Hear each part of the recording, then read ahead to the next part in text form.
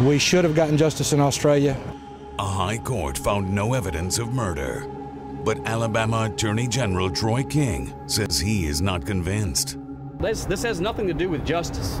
Gabe Watson pled guilty to manslaughter for the death of his wife and will soon be released from prison. He served his time, so why could he face charges here in Alabama for a crime committed in another country? Tonight on CBS 42 HD News at 10.